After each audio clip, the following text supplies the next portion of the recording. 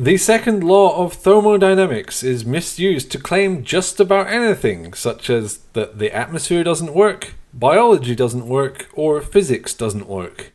The second law actually states that total entropy in an isolated system doesn't decrease. In simple terms, it states that a thing will just get more and more messed up unless another thing comes along and sorts it out. The misuse of the law is when this simplistic explanation is taken as the true meaning of the law. People will say, I can't tidy my room unless I can ride bikes first due to the second law. This is wrong because the second law specifically and exclusively talks about how energy distribution averaged in a thermodynamic system tends to equilibrium. A good rule of thumb with the second law of thermodynamics is when someone brings it up, unless they are a qualified physicist and they're talking to you about physics and you're also a physicist, unless it's that, just walk away.